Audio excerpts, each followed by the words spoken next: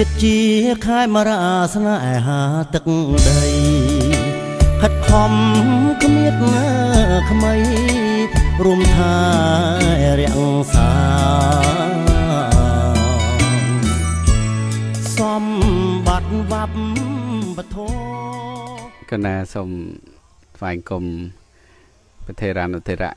គ្រប់អង្គហើយអាត្មាភិក្ខុធម្មលង្ការោសូម ចម្រើនពរញាតិញោមបាសកបាសិកាលោកយាយលោកតាពុកម៉ែបងប្អូនជួនរួមជាតិហើយដំលោកយមទាវអស់លោកលោកស្រីអ្នកនាងកញ្ញា គ្រប់រូបគ្រប់ទីកន្លែងទាំងក្នុងនិងក្រៅប្រទេសគណៈពេលនេះខ្ញុំប្រកាសអាត្មាកំពុង តែស្ថិតក្នុងបរិវេណសាលាបឋមសិក្សាវត្តខ្ចាស់ផ្នែក ខាងអាណាចក្រអឺទីនេះស្ថិតនៅក្នុងឃុំបោះស្បូវស្រុកពិនិត្យព្រះខេត្តបន្ទាយមានជ័យហើយមានព្រំបទល់លបងជាប់គ្នា ជាមួយនឹងវត្តប្រាសាទស្រះកណ្ដាលខ្ចាស់សូមជម្រាបប្រគេនថាថ្ងៃនេះថ្ងៃអាទិត្យ12រោចខែអាសាឍឆ្នាំ កុលឯកសារពុទ្ធសករាជ2563ត្រឹងថ្ងៃទី28ខែកក្កដាឆ្នាំ2019ដោយមើលឃើញទីកន្លែងសាលារៀននេះមានអឺផ្ទៃដីមិនរៀបស្មើទេដោយសារអឺមានកលុកច្រើនហើយទីទំនាបជាវាលស្រែ ហើយទីតាំងដែលមានសាលារៀនក៏បានចាក់ដីរួចរាល់ហើយក៏ប៉ុន្តែដីក្រៅពីទីតាំងដែលបានកសាងសាលាហ្នឹងគឺថានៅបន្ថែមចាក់បំពេញទីធ្លាអញ្ចឹងហើយខ្ញុំប្រកាសអាត្មាហ្នឹងមើលឃើញថាសាលារៀននេះក៏ជាកន្លែងដែលខ្ញុំប្រកាសអាត្មាធ្លាប់ រៀននិយាយជារួមមកថាកាលដែលមិនតាន់ចេះអក្សរហ្នឹងគឺបានសាលានឹងឯងបានបង្រៀនឲ្យចេះអក្សរចេះអានចេះសរសេរសពគ្រប់នៅសាលានេះខ្ញុំកណ្ណាអាត្មារៀនបានត្រឹមថ្នាក់ទី3ក្នុងអឺពេលដែលរៀនត្រឹមតែថ្នាក់ទី3ក៏ចូលកាន់ភ្នោះបួស ជាសាមណេរអញ្ចឹងដោយសារមើលឃើញថាទី1ជាកន្លែងធ្លាប់រៀនហើយចំណុចទី2មើលឃើញថាវិស័យអប់រំជាវិស័យស្នូលនៅបណ្ដាប្រទេសលើសកលលោកនៅក្នុងពិភពលោកយើងនេះគឺថាប្រទេសដែលមានការរីកចម្រើន มันអាចរំលងការសិក្សាបានទេវិស័យអប់រំជាវិស័យសំខាន់ដើម្បីវិស័យផ្សេងផ្សេងមានការរីកចម្រើន មានការលូតលាស់គឺត្រូវតែផ្អែកទៅលើវិស័យអប់រំកាលណាបើបរដ្ឋនៅក្នុងប្រទេសនោះនោះមានការយកចិត្តទុកដាក់ខ្ពស់ក្នុងវិស័យអប់រំនៅក្នុងការសិក្សារៀនសូត្រគឺថាធ្វើឲ្យមនុស្សមានការចេះគិត ហើយមនុស្សអាចនឹងមានការលូតលាស់ផ្នែកស្មារតីធ្វើឲ្យមនសិការការស្រឡាញ់ជាតិនឹងអាចធ្វើឲ្យមានការប្រឹងប្រែង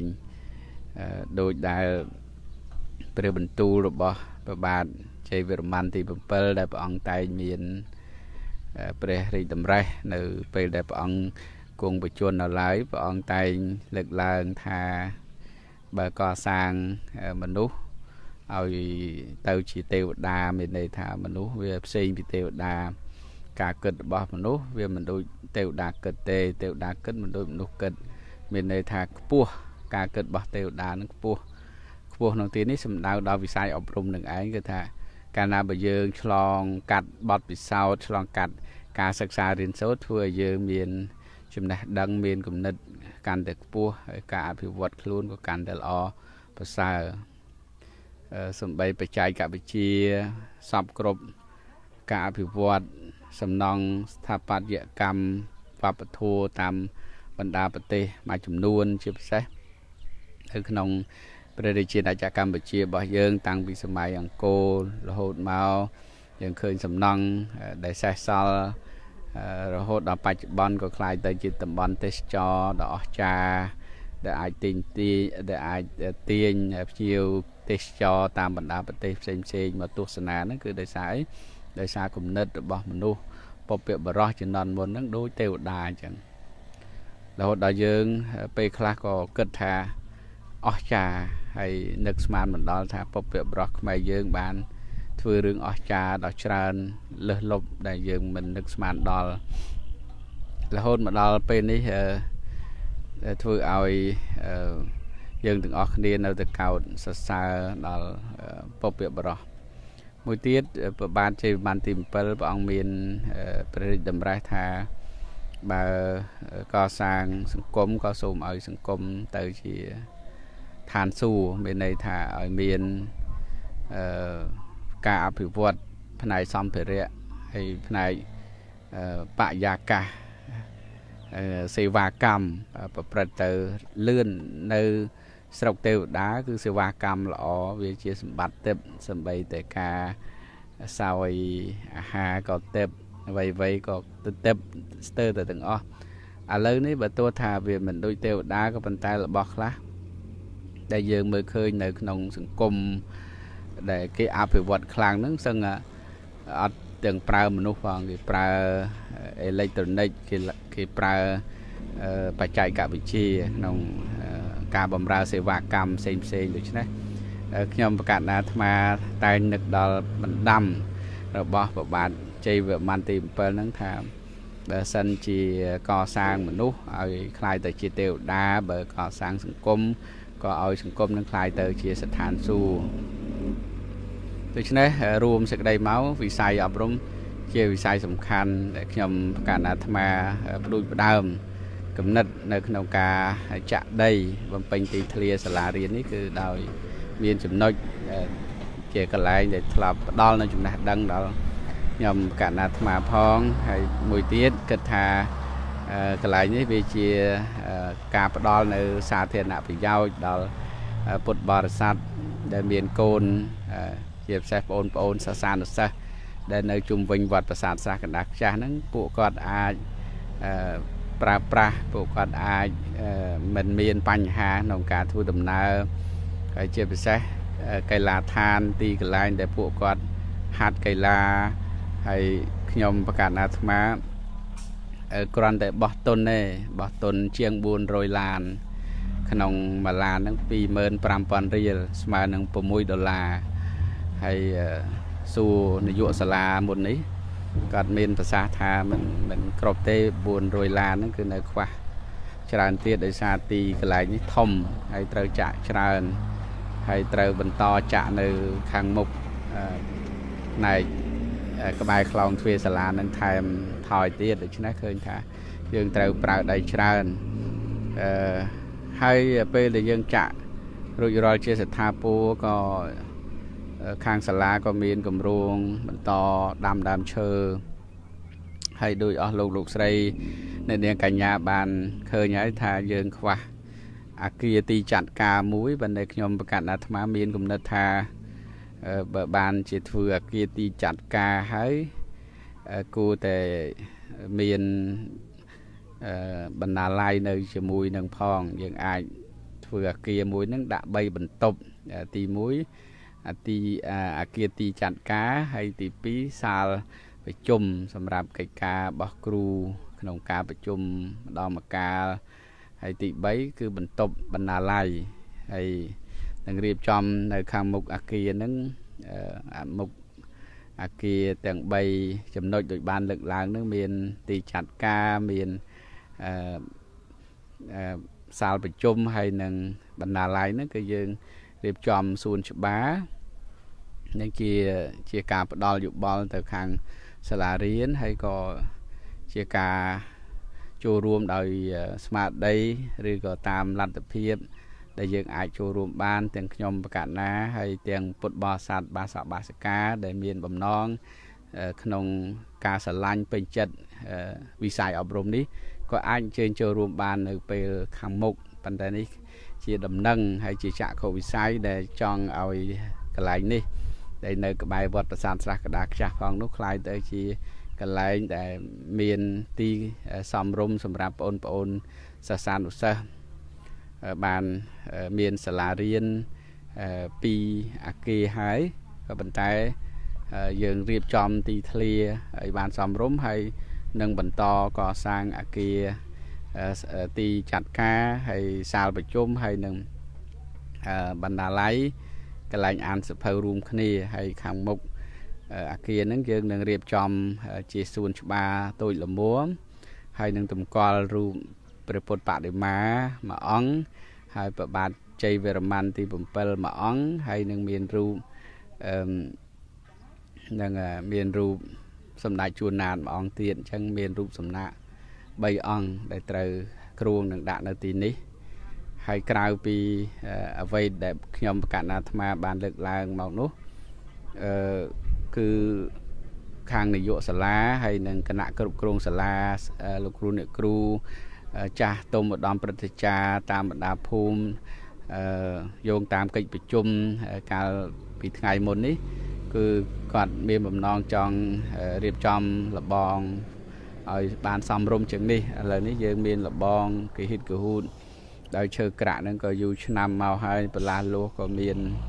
ខ្លះអត់ខ្លះតាមដោយអន្លើដូច្នេះសង្ឃឹមថាសប្បុរសជននឹងមានការចូលរួមខ្ញុំប្រកាសអាត្មាក៏បោះទុនខ្លះតាមបច្ច័យ4ដែលមាន ដែលពុទ្ធបរិស័ទបានបវារណាបន្តិចបន្តួចមកក៏បេះបោចសន្សំអឺសួរវិយវចៈ ក៏បានប្រគល់ឲ្យដល់នាយកសាលាបោះទុនធ្វើលបងខ្លះហើយលបងនឹងតាមសួរមកថាមួយប្រឡោះ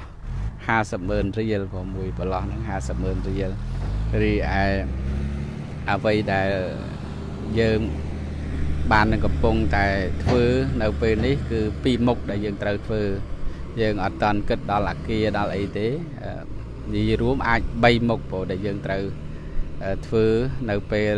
នេះហើយនឹងបន្តទី1គឺយើងកំពុងចាក់ដីបំពេញទីធ្លាទោះថាមិនតាន់គ្រប់ចំនួនយ៉ាងណា សង្ឃឹមថាពុទ្ធបរិស័ទនឹងមានការចូលរួម តាមកម្លាំងសទ្ធាជ្រះថ្លាក្នុង1ឡាន25000រៀលស្មើនឹង6ដុល្លារញាតិញោមអាចអញ្ជើញចូលរួម បានតាមទឹកចិត្តជ្រះថ្លា និងផ្នែកខាង ដីហើយចំណុចមួយទៀតគឺពាក់ព័ន្ធទៅនឹងលបងដែលក្នុងមួយប្រឡោះដែលគម្រោងខាងសាលាបានប្រកេនដំណឹងមកមុននេះគឺក្នុងមួយប្រឡោះអឺ50ម៉ឺនរៀលបើ50ម៉ឺនរៀលហើយចំណុចទី3ដែលត្រូវធ្វើបន្តបន្តទៀតនោះគឺដាំដើមឈើបើខ្ញុំកាត់អាត្មាមើល ប្លង់រួចហើយគឺត្រូវដាំដើមឈើអមផ្លូវដើម្បីបានមលប់សម្រាប់សិស្សានុសិស្សបងប្អូនក៏ជ្រក់ផងហើយសម្រាប់ពុទ្ធបរិស័ទនៅក្នុងកម្មវិធីធំធំនឹងបានទីកន្លែងជ្រោកផងពីព្រោះនៅជាប់ព្រំបទលសាលារៀនហើយនឹងវត្តនឹងនៅជាប់គ្នាអញ្ចឹងហើយបានខ្ញុំប្រកាសអាត្មាតែងតែមានការយកចិត្តទុកដាក់ហើយតែងតែ ផ្ដល់យោបល់ប្រឹក្សាយោបល់ជាមួយនាយកសាលាជាមួយលោកគ្រូអ្នកគ្រូហើយជាពិសេសគឺគណៈគ្រប់គ្រងសាលាចាស់ទុំឧត្តមព្រឹទ្ធាចារ្យហ្នឹងគឺថាធ្វើម៉េចយើងឲ្យវត្តហើយនឹងសាលារៀនគឺនៅជាមួយគ្នាជាបងជាប្អូនហើយយើងជួយគ្នាតាមដែលយើងអាចជួយទៅបានឧទាហរណ៍ថាត្រូវការវត្តជួយបណ្ដោះបណ្ដាលផ្នែកសិលធម៌ចរិយាធម៌ ដល់បងប្អូនសាសានុសិស្សគឺវត្តជួយ តាមដែលអាចជួយទៅបាន ឬក៏មធ្យោបាយជាសិក្ខោបករឬក៏ក្នុងពិធីលើកទឹកចិត្តដល់សិស្សពូកែអីហ្នឹងគឺថាវត្តមានលទ្ធភាព បានប៉ុណ្ណាគឺវត្តជួយប៉ុណ្ណឹងកន្លងមកគឺយើងតែងតែមានការចូលរួមបែបនេះហើយពេលដែលវត្តត្រូវការវិញក៏សាលាត្រូវតែសម្បទានឲ្យវត្តដោយទីកន្លែងដែលចាក់ដីនេះកាលណាបើយើងរៀបចំបាន សំរុំហើយគឺថាក្នុងកម្មវិធីប៉ុនដូចជាប៉ុនកឋិនទាន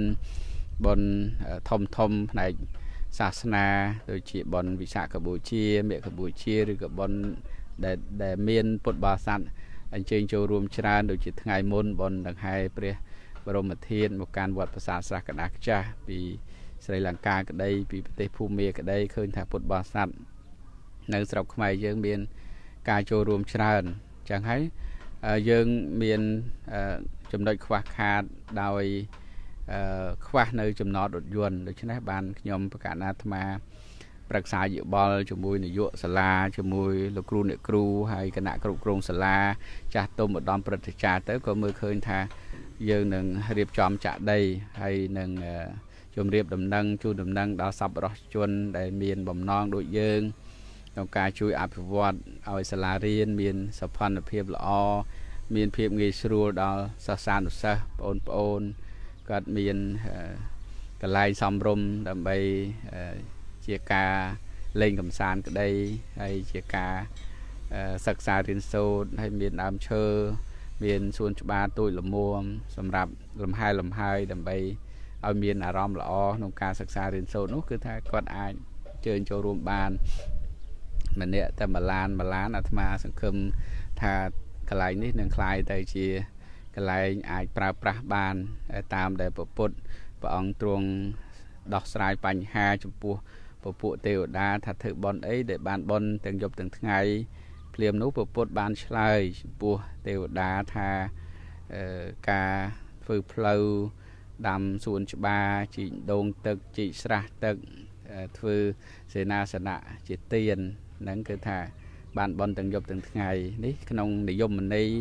ដែលពពុទ្ធព្រះអង្គទ្រង់បានបង្ហាញបង្រៀនឲ្យយើងបានដឹងហ្នឹងគឺព្រះអង្គមើលឃើញថាផ្ដល់សេចក្តីសុខផ្ដល់ភាពងាយស្រួលដល់ជនដតីភាពងាយស្រួលឬក៏សេចក្តីសុខនោះនឹងផ្ដល់មកនេះឲ្យវិញអញ្ចឹងហើយបានអស់លោកលោកស្រីអ្នកនាងកញ្ញាបាសកបាសិកាអៃដាមលោកជំទាវលោកយាយលោកតាពុកម៉ែបងប្អូនជនរួមជាតិទាំងអស់ដែលមាន ភក្តីភាពក្នុងវិស័យអប់រំ ដែលគិតឃើញថាវិស័យអប់រំ ជាវិស័យសំខាន់នោះគឺថាអាចជើញចូលរួមបានបងហើយនាយកសាលាក្តីលោកគ្រូអ្នកគ្រូចាស់ទុំឧត្តមព្រឹទ្ធាចារ្យហើយខ្ញុំប្រកាសអាត្មាភាពជំនួសមុខឲ្យសាលារៀនតំណាងដល់សាលារៀនគឺថាសូមស្វាគមន៍យ៉ាងកក់ក្ដៅបំផុត ក្នុងការចូលរួមរបស់ពុទ្ធបរិស័ទគ្រប់មជ្ឈដ្ឋានបងនេះគឺជាសកម្មភាព មានឡានដឹកដីហើយមានគ្រឿងចាក់ត្រាក់រុញធ្វើបានមួយសប្តាហ៍ហើយដែលបានអាចដីប៉ុណ្ណឹងហ្នឹងគឺថាយើងចាក់រាល់ថ្ងៃ តាំងពីព្រលឹមដល់ព្រលប់តែដោយសារខ្ញុំប្រកាសអាត្មារវល់ជាប់កិច្ចការងារនៅវត្តទៅក៏មិនបានមកមើលក៏ប៉ុន្តែលោកគ្រូអ្នកគ្រូគាត់បានអញ្ជើញមកមើលជាប្រចាំដើម្បីអឺ ឲ្យបានដឹងថាតើអស់ប្រមាណឡានពិតប្រកបមកដល់ម៉ោងនេះអ្វីដែលខ្ញុំប្រកាសអាត្មាបោះទុនចំនួន400ឡានហ្នឹងគឺបានបានអស់ទៅហើយអញ្ចឹងតាមដែលអាត្មាសួរមុននេះគឺថាអាចដីដែលត្រូវចាក់បំពេញទីធ្លានៅវត្តនៅសាលារៀនបឋមសិក្សាវត្តខ្ចាស់ដែលផ្នែកអាណាចក្រនោះ គឺត្រូវចំណាយអាចក្បែរ1000ឡានឯណោះបងអញ្ចឹង សង្ឃឹមថានៅពី300ឡានទៀតឯកឧត្តមលោកជំទាវបាសកបាសិកាលោកយាយលោកតាពុកម៉ែបងប្អូននឹងមានការចូលរួម ជាជាមិនខានទេហើយមួយទៀតគឺលបង ដែលយើងត្រូវបន្តធ្វើនៅពេលដល់ខ្លីខាងមុខនេះខ្ញុំប្រកាសណាក៏បានបោះទុនប្រហែលជាអឺច្រើនប្រឡោះដែរដូចជា10ឬ20ប្រឡោះក៏មិនដឹងបើមកប្រឡោះ 50ម៉ឺនដោយសារអឺចាក់ដីផងហើយចូលរួមខាងរបងនោះផងហើយតទៅទៀតក៏នឹងធ្វើសកម្មភាពដាំដើមឈើក្រោយពីយើង បានរៀបចំទីធ្លាបរិស្ថានចាក់ដីរៀបចំទីធ្លាសាលារៀនឲ្យបានរៀបស្មើល្អហើយគឺថាយើងនឹងរៀបចំដាំដើមឈើ ហើយយើងរៀបចំប្លង់នៃការដាំដើមឈើនោះឲ្យល្អដើម្បីជាប្រយោជន៍ដល់សាធារណជនដូច្នេះខ្ញុំប្រកាសណាអាត្មានឹងមានការបញ្ចប់ខ្លឹមសារនៃការពីវនីវជាការជូនដំណឹងដល់សប្បុរសជន ដែលបានទស្សនានិងបានស្ដាប់នៅពេលនេះដើម្បីបានចូលរួមទាំងអស់គ្នាគឺដើម្បីទាំងអស់គ្នា ជាចុងក្រោយសូមប្រសិទ្ធពរជ័យសិរីសួស្តីវិបុលសុខចូលកើតមានដល់សពរស់ជនគ្រប់មជ្ឈដ្ឋានដែលបានតែងចូលរួម ទាំងកិច្ចការងារសង្គមនៅក្នុងវត្តវិស័យសាសនាពុទ្ធចក្រក្តីទាំងវិស័យអប់រំនៅខាងអាណាចក្រក្តីនេះគឺថាសូមជួបតែពុទ្ធពោទាំងឡាយ4ប្រការគឺអាយុវណ្ណៈសុខៈពលៈហើយនឹងសម្បត្តិ3សម្បត្តិមនុស្ស ទេពតាសម្បត្តិអស្ចារ្យគឺព្រះនិព្វានអស់លោកលោកស្រីអ្នកនាងកញ្ញាបាសកបាសិកាលោកយាយលោកតាពុកម៉ែបងប្អូន ប្រាថ្នានៅពោណាសម្បត្តិណាសូមឲ្យបានសម្រេចដោយក្តីប្រាថ្នាសូមអនុមោទនាហើយសូមអញ្ជើញលោកតាណោមមកចូលរួមក្នុងការមតិសម្ដែងសំណើក៏ដូចជាការអំពាវនាវអីយ៉ាងណាក៏សូមអញ្ជើញ សូមលោកអាចារ្យភូមិបងឈ្មោះលោកតាស្មុតណោមអាចអញ្ជើញមានប្រសាសន៍ដោយខ្ញុំកណ្ដាអាត្មាបានរៀបរាប់មុននេះហើយថា បានបោះទុនប្រហែលជាង400ឡានហើយនៅខ្វះច្រើនទៀតជិត1000ឡានឯណោះបើយើងគិតទាំង400ឡានយើងទៅថែមប្រហែលជាអាចចូលជិត1000ឡានចង់និយាយថាទាំង400ឡានហ្នឹងណាអញ្ចឹងថែម2ទៅ300ឡានទៀតបានគ្រប់ ហើយចាក់ខុវិស័យដែលយើងត្រូវធ្វើបន្តគឺរបងដែលនៅបច្ចុប្បន្នភាពនេះយើងរបងឈើហើយត្រូវពុកត្រូវផុយខ្លះហើយមិនតាន់មាន ការរៀបចំស្រួលបួលឡើងវិញទេអញ្ចឹងអ្វីដែលយើងត្រូវធ្វើនៅទីនេះមាន3ទី1ចាក់ដីទី2បន្តរបងហើយខ្ញុំប្រកាសអាត្មាបោះទុនខ្លះហើយមិនដឹងប្រមាណប្រឡោះហើយបោះទុនខ្លះហើយហើយនឹងនឹងបន្តដាំដើមឈើរីឯអាគារ ទីចាត់ការបណ្ណាល័យហើយសាលប្រជុំនោះគឺថាចាំពេលក្រោយទៀតប៉ុន្តែឥឡូវយើងគិតរឿងដៃនឹងសិនណាហើយចង់មានប្រសាសន៍អីយ៉ាងម៉េចសូមអញ្ជើញជាកិច្ចបន្តខ្ញុំក៏សូមក្រាបថ្វាយបង្គំព្រះអង្គគ្រូដែលព្រះអង្គមានស្រដីកា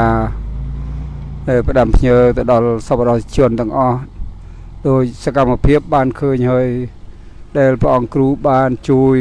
ចាក់ដីនេះ បើគិតទៅ400ឡានបាទប៉ុន្តែកម្រងដែលត្រូវរៀបចំដីនេះគឺប្រហែលចូលជិត1000ឡានបាទព្រោះទីធ្លាននៅខ្វះខាតដីទៀបហើយត្រូវការរៀបចំដើមឈើអឺព្រោះសប្តាហ៍ថ្ងៃអស់ដើមឈើហើយទៀនបាទដូចនេះចង់បានទីនេះទុកដើមឈើសម្រាប់កូនចៅក្រោយឃើញថាដើមឈើមានតម្លៃដូចជាដើមខ្ញូងដើមបេងអឺ វត្ថុដែលមានតម្លៃសម្រាប់កូនចៅបន្តពីចាស់ចាស់យើងខ្ញុំបាទដូច្នេះសូមធ្វើកម្មពីវនីវដល់ទឹកចិត្តសពរោះអឺទាំងអស់ដែលលោកមានចក្ខុវិស័យសម្រាប់កូនចៅខ្មែរយើងការរៀនសូត្របន្តអំពីចំនួនមួយទៅជនចំនួនមួយបាទព្រោះក្នុងទីសាលានេះ នៅក្បែរជៀបនឹងរបងវត្តប្រាសាទស្រះកណ្ដាលចាស់ ដូច្នេះព្រះអង្គគ្រូព្រះមហាធម្មអលង្ការចន្ទជនដែលជាព្រះអង្គគ្រូចតិកាព្រះអង្គមានស្រែការថាចង់ជួយអភិវឌ្ឍសាលាបឋមសិក្សាចាស់នេះឲ្យคล้ายទៅជាសាលាមួយដែលមានភាពឧត្តមឧត្តមបាទហើយពុទ្ធបរិស័ទដែលលោកអញ្ជើញមកចូលរួមក្នុងទីវត្តអារាមនេះឃើញថាទីវត្តល្អណាស់ទៀតល្អសង្ស័យណាស់សម្រាប់សាលានេះមានការកង្វះខាតអឺ ព្រោះតំបន់នេះពីដើមឡើយគឺមាន ការឆ្លងកាត់ដោយសង្គ្រាមរ៉ាំរ៉ៃធ្វើឲ្យតំបន់នេះអសន្តិសុខសន្តិភាពដូច្នេះចាប់ពីពេលលូម៉ូទល់នឹងថ្ងៃនេះក៏មិនទាន់បាននឹងការជឿនលឿនបាទដូច្នេះក៏ធានបាទដែលជាតំណាងឲ្យសហគមន៍នៅក្នុងសាលាបឋមសិក្សាចាស់នេះសូមអំពាវនាវដល់ទឹកចិត្តសប្បុរសទាំងអស់គ្នាទាំងសូមមេត្តាជួយអឺ ការអភិវឌ្ឍហើយចាក់ដីក៏ដូចជាដោយព្រះអង្គគ្រូមានស្រដីកាហើយថាព្រះអង្គចង់ជួយធ្វើបណ្ណាល័យមួយសម្រាប់ទីចាត់ការកន្លែងប្រជុំកិច្ចការងារឬក៏ចង់រៀបចំឲ្យទីនេះសូភឿនសម្រាប់កីឡាក្មេងៗដែលមកសិក្សារៀនសូត្រនេះក៏សប្បាយចិត្តព្រោះ សពថ្ងៃមានកុមារមួយចំណែកកិច្ចសាលាដោយសារជួនកាលសាលានេះមិនសូវជាសោភ័ណអអឺដល់នេះបានយើងត្រូវថារៀបចំទីធ្លាសាលានេះឲ្យមានភាពសុភិនល្អដើម្បីឲ្យស័ក្តិសមនឹងអឺការអភិវឌ្ឍឈានឡើងដូចសពថ្ងៃបាទដូច្នេះទានបាទអឺมันបានវែងឆ្ងាយទេទានសូមបញ្ចប់ប៉ុន្តែនឹងបញ្ចប់សូមជូនពរជូនជ័យស្រីមង្គលដល់ សប្បុរសជនទាំងអស់សូមឲ្យលោកជួបទៅនឹងសេចក្តីសុខចម្រើនពុទ្ធពរបុណ្យប្រការយុវណ្ណៈសុខៈពលៈកំបីគ្រៀងគ្រៀតឡើយ